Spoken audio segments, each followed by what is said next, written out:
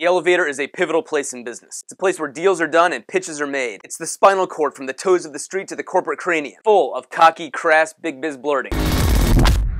For three years, the Twitter account GS Elevator Gossip has become a column of pontifical parody aimed directly at Wall Street bakers. In just 1,000 tweets, it's got over 630,000 followers. And as it turns out, it doesn't even belong to a Goldman Sachs employee. It's all thanks to this guy. His name is John LeFevre, and though he was almost hired by GS in 2010, he was actually with Citigroup for several years. Finding intrigue in the Condé Nast Twitter account at Condé Elevator, he decided to mirror the account. He said, This is ridiculous that people are infatuated with Condé Nast. They only saw the elitist, sexist, and out of touch things bankers say. What came out of that is a long string of incisive quips about, well, everything. If I only wanted one drink, I'd go for communion. UGG season, pumpkin spice lattes, and a new iPhone. It's the white girl trifecta. At the gym, what machine should I use to impress the girls? The ATM. If you haven't already, you might want to set aside some time and delve. It's good stuff. As for the six-figure book deal, John's publishing agent at Touchstone doesn't even really care if he's an employee at Goldman Sachs or not. They claim his upcoming book is full of hilarious true material, so it doesn't even hinge on the GS Elevator account hysterics. All that's just icing on the cake. Now's a good time to check out our channel where we upload new videos every weekday. Watch them, like them, share them. Don't forget to subscribe to One Minute News, and thanks for watching.